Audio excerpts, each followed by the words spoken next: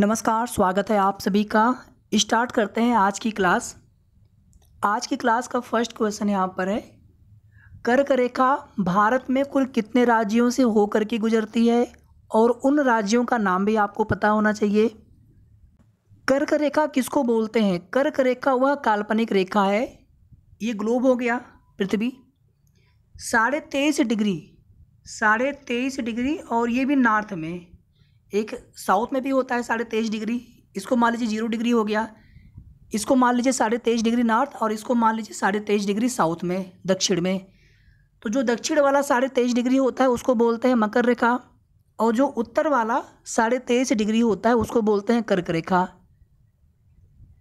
अब यहाँ पे इंडिया का मैप थोड़ा सा देख लेते हैं रफली।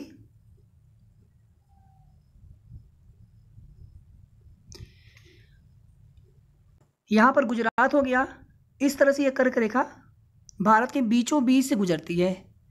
कर्क रेखा भारत के बीचों बीच से गुजरती है। भारत के मध्य से होकर के गुजरती है और विश्व में कुल सत्रह देशों से होकर के कर्क रेखा गुजरती है। अभी उन सत्रह देशों के नाम भी एक बार देख लेंगे।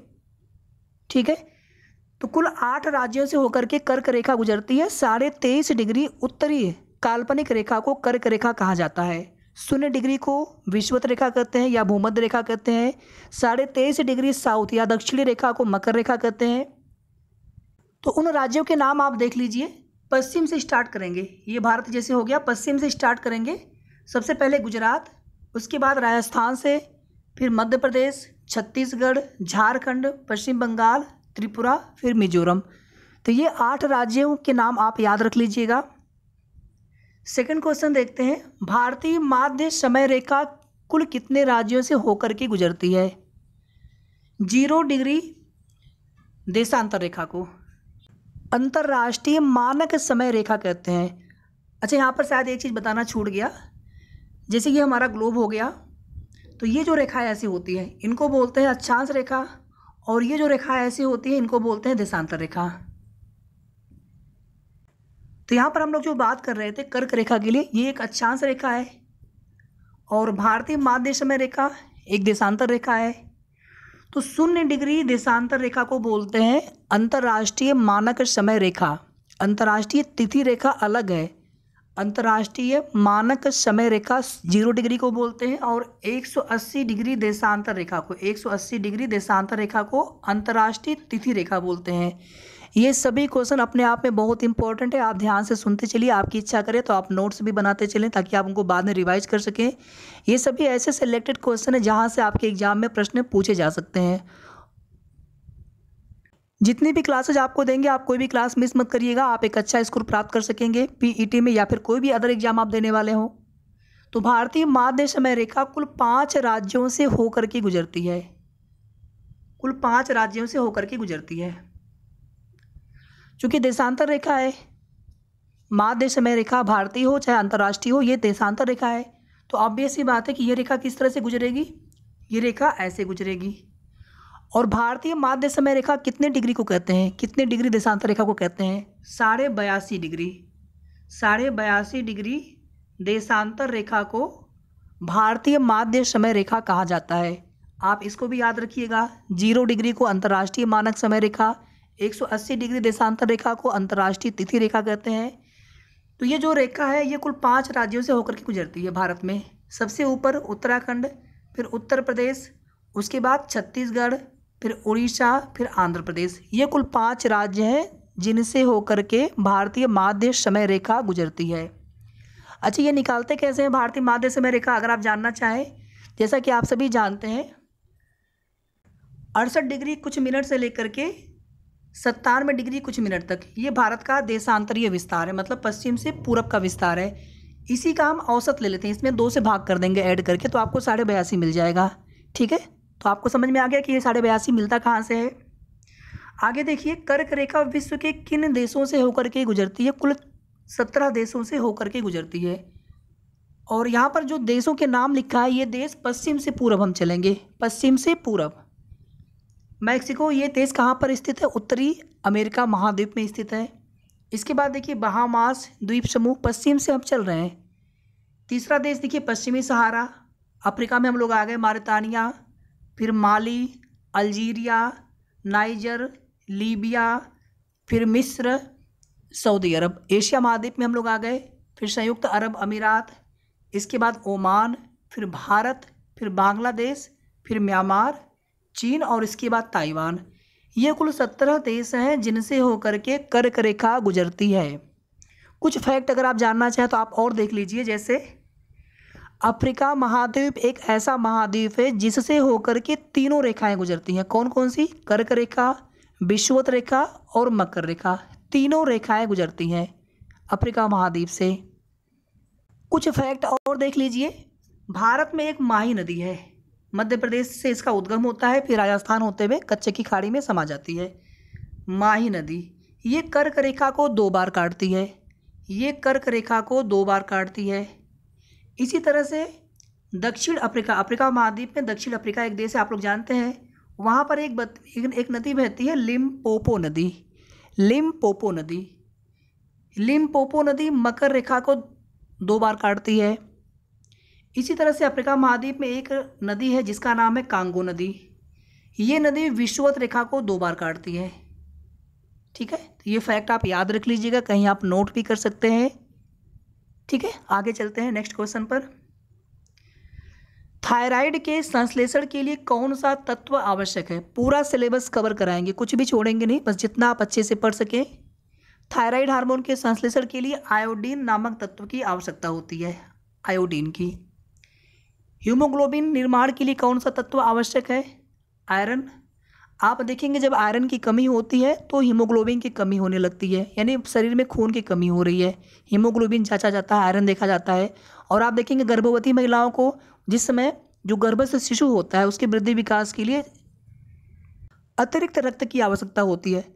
जिसके कारण गर्भवती माताओं में रक्त की कमी होने लगती है। तो फिर आप देखेंगे कि उनको सौ दिन तक एक कोर्स चलाया जाता है अलग से, आयरन और फोलिक गोली, फोलिक एसिड की गोली खाने के लिए। ठीक है? तो कुछ अतिरिक्त फैक्ट आप जानते रहिए। अब आगे देखिए, एक क्वेश्चन अभी पूछा गया था अभी हाल ही के एग्ज़ाम में। लगातार पैटर्न चेंज हो रहा है, यूपी ट्रिपल एस का तो आपको अपनी तैयारी भी उसी स्तर से करनी है। और केवल पीईटी e नहीं फाइनली सिलेक्शन आपका किसी भर्ती के मेंस एग्ज़ाम देने से होगा। तो आप तैयारी इस तरह से करिए कि आपकी तैयारी हर भर्ती के लिए हो, पेट के लिए हो। भारतीय जनगणना अभी भी हम लोग 2011 का पढ़ते हैं, क्योंकि नया जनगणना का कोई भी आंकड़ा आया नहीं। भारतीय जनगणना में जनसंख्या घनत्व तो किसे कहते हैं?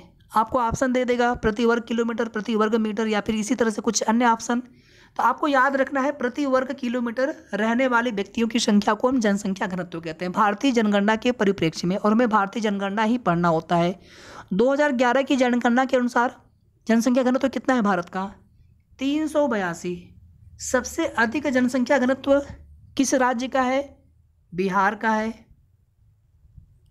सबसे अधिक है। 2001 में पश्चिम बंगाल था 2011 में बिहार हो गया था। अगला फैक्ट देखिए। ये क्वेश्चन में भी पूछा गया है किसी एग्ज़ाम में।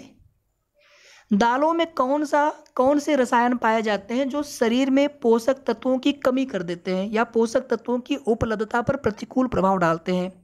प्रतिकूल प्रभाव का मतलब क्या हुआ? पोषक तत्वों की कमी कर देते हैं। ये नाम आप याद रखिएगा। फाइटेट्स बोलते हैं इसको। ठीक है? फाइटेट्स अगला क्वेश्चन देखिए। जनसंख्या वृद्धि के महत्वपूर्ण घटक। जन्म दर और मृत्यु दर। अगर जन्म दर ज़्यादा हो, मृत्यु दर कम हो जाए तो जनसंख्या बहुत तेज़ी से बढ़ेगी। इसमें अलग अलग कंडीशन होती हैं। तो सबसे महत्वपूर्ण घटक क्या है? जन्म दर और मृत्यु दर। एक देखिए नया नया सूचकांक है, और भी जितने सूचकांक है जो आपके एग्ज़ाम पॉइंट ऑफ़ व्यू से या फिर किसी भी भर्ती के, किसी भी एग्ज़ाम के लिए इंपॉर्टेंट हो गए तो वो सूचकांक हम लोग देख लेंगे।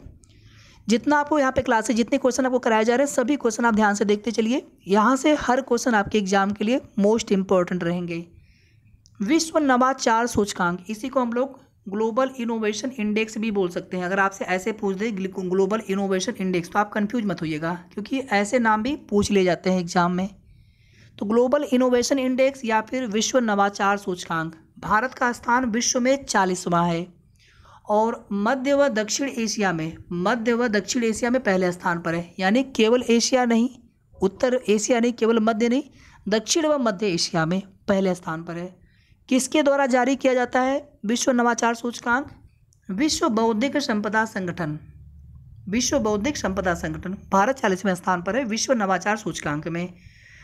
Dadasaheb Phalke lifetime achievement achievement पुरस्कार या अवार्ड, कुछ भी लिख कर आ जाए, किसको दिया गया है या फिर दिया जाएगा? ठीक है, आपके एग्ज़ाम तक तो किसको दिया गया है? आप ऐसे इसको समझिए। तो ये नाम आप याद रखिएगा, वहीदा रहमान को, वहीदा रहमान को। अगला क्वेश्चन देखिए। भारतीय तटरक्षक बल ने ऑपरेशन सजग, एक ड्रिल का संचालन किया गया है भारतीय तटरक्षक बल के द्वारा। आपसे क्वेश्चन पूछेगा कि किस सशस्त्र बल के द्वारा ऑपरेशन सजग नामक ड्रिल का संचालन किया गया है तो भारतीय तटरक्षक बल के द्वारा। सभी प्रश्न अपने आप में मोस्ट इंपॉर्टेंट हैं।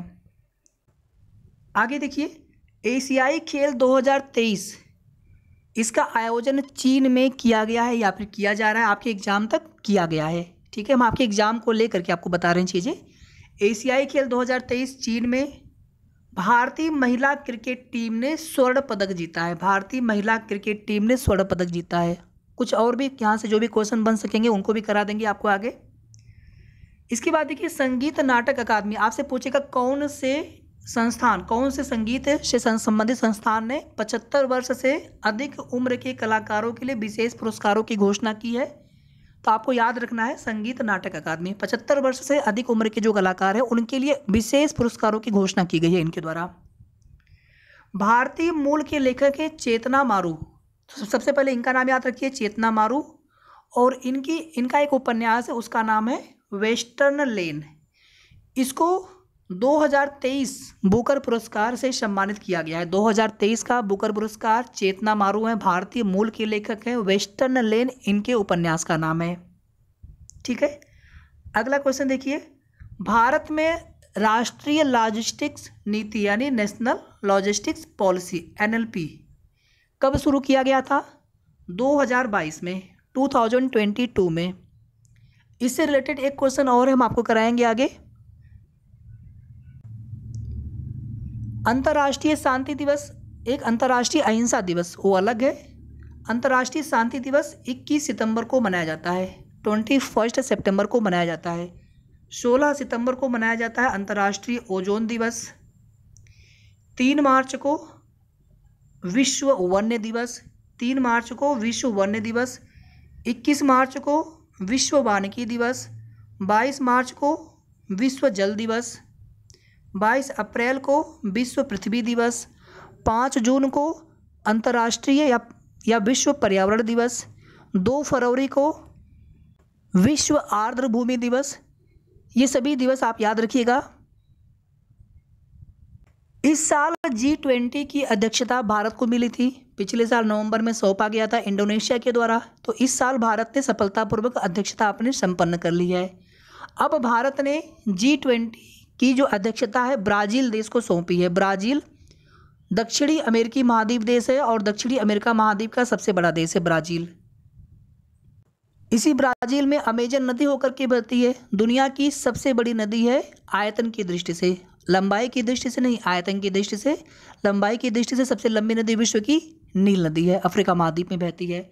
अब ध्यान दीजिएगा आप सभी, अब जी ट्वेंटी का नाम जी ट्वेंटी नहीं रह गया है। जी ट्वेंटी में अफ्रीकी यूनियन को भी शामिल कर लिया गया है। तो आपसे क्वेश्चन पूछ सकता है कि अफ्रीकी यूनियन को किस देश की अध्यक्षता में शामिल किया गया था? तो भारत की अध्यक्षता में अफ्रीकी यूनियन को शामिल किया गया है। और भी कई सारे महत्वपूर्ण फैक्ट या महत्वपूर्ण क्वेश्चन यहाँ से बन सकते हैं, उनको भी करा देंगे आगे। तो इतना आप याद रखिएगा। अगला क्वेश्चन देखिए, किस राज्य या केंद्र शासित प्रदेश में निफा वायरस संक्रमण के कारण मौतें दर्ज की गई हैं? केरल में। इसके पहले भी आप देखेंगे, ये खबर में रहा है, निपा वायरस का जो संक्रमण होता है ज़्यादातर, आपको केरल राज्य में ही देखने को मिलता है। सिम्बैक्स एक नौसैनिक अभ्यास है। थल सेना वायुसेना नौसैनिक सबके अलग अलग अभ्यास होते हैं भारत व अन्य देशों के साथ में। तो सिम्बैक्स किसके साथ में है? भारत व सिंगापुर के बीच में है। भारत व सिंगापुर के बीच में है। भारत का सर्वप्रथम किसान आंदोलन, बिजौलिया। भारत का सर्वप्रथम किसान आंदोलन बिजौलिया। खिलाफत आंदोलन, रोलेट एक्ट और जलियावाला बाग हत्याकांड, ये सभी 1919 की घटनाएँ हैं। रोलेट एक्ट के विरोध में ही जलियावाला मतलब वो विरोध हो रहा था। वहाँ पे दो जो नेता है पंजाब में, उनको गिरफ़्तार किया गया था, एक सैफुद्दीन किचली, एक एक किचलू, एक वह अन्य नेता है। आप सभी जानते हैं कि वहाँ पर शांतिपूर्वक प्रदर्शन किया जा रहा था, जलियावाले बाग में उपस्थित होकर के। लेकिन यहाँ पर जनरल डायर के द्वारा अंधाधुंध फायरिंग करवा दी गई थी। तो ये सभी घटनाएँ 1919 की हैं। जलियावाला बाग हत्याकांड 13 अप्रैल 1919 की घटना है। ठीक है, इसको याद रखिएगा आप सभी। लखनऊ समझौता 1907 में एक बैठक होती है कांग्रेस की, सूरत में। और इसमें होता क्या है, कांग्रेस में विभाजन हो जाता है, गरम दल और नरम दल। 1916 में नरम दल और गरम दल आपस में मिल जाते हैं और इसमें मुस्लिम लीग के साथ भी समझौता हो जाता है कांग्रेस का। इसीलिए 1916 में इस जो बैठक हुई थी, या अधिवेशन हुआ था कांग्रेस का, उसको बोला जाता है लखनऊ अधिवेशन या फिर लखनऊ समझौता। ठीक है, क्वेश्चन आपसे कैसे भी पूछा जा सकता है, इसको याद रखिएगा। मुस्लिम लीग की स्थापना 1906 में हुई थी। आगे देख लीजिए। चंपारण सत्याग्रह गांधी जी का सबसे पहला सत्याग्रह भारत में था 1917 ईस्वी में बिहार में। अगस्त घोषणा 1940 की घटना है 1940 की घटना है। क्रिप्स मिशन प्रस्ताव 1942 की घटना है और इसी प्रस्ताव के आने के बाद जब कुछ भी सकारात्मक नहीं दिखा देश की आज़ादी से संबंधित तो आप सभी जानते हैं कि इसके बाद भारत छोड़ो आंदोलन गांधी जी के द्वारा शुरू किया गया था। 8 अगस्त 1942 में घोषणा की गई थी बम्बई के ग्वालियर टैंक मैदान से और 9 अगस्त को आंदोलन प्रारंभ हो गया था। और आप सभी जानते हैं कि ज़ीरो आवर्स के तहत जितने भी शीर्ष नेता थे, सभी को गिरफ़्तार करके उनको नज़रबंद कर दिया गया था। चाहे गांधी जी हो, चाहे सरोजनी नायडू हो, चाहे नेहरू जी हो। ठीक है? तो इतने फैक्ट आप जानते रहिए। तो यहाँ पर टोटल हमने 25 क्वेश्चन लिया था और जो भी रिलेटेड जितने भी क्वेश्चन और बन सकते थे, अधिक से अधिक क्वेश्चन यहाँ पे कराने का प्रयास किया है। ये सीरीज़ ऐसे ही चलती रहेगी आपके एग्ज़ाम तक। और आप कोई भी क्लास मिस मत करिएगा। थोड़ा सा आप सेल्फ स्टडी पर फोकस करें और जहाँ से भी आपको अच्छा अच्छी क्लास मिले अच्छा मटेरियल मिले, आप वहाँ से भी पढ़ते रहें। हमें पूरी उम्मीद है कि आप एक अच्छा स्कोर करेंगे। पचासी, नब्बे या नब्बे के ऊपर तक भी आप एक अच्छा स्कोर कर सकेंगे। वीडियो अगर आपको पसंद आया तो वीडियो को प्लीज़ आप सभी लाइक कर दीजिएगा और शेयर भी आप सभी ज़रूर कर दीजिएगा। और अगर आपने अभी तक चैनल को सब्सक्राइब न किया हो तो सब्सक्राइब भी आप सभी कर लेंगे। धन्यवाद।